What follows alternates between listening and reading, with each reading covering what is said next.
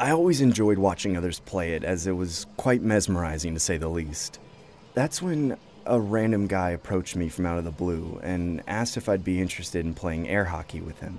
I personally didn't see any harm in it, so I said, sure. He introduces himself as Ben, and I introduce myself as well. We end up playing a few rounds and even chatted for a bit. Ben was even generous enough to buy me a drink. I eventually noticed it was getting pretty late and realized it was probably close to my curfew.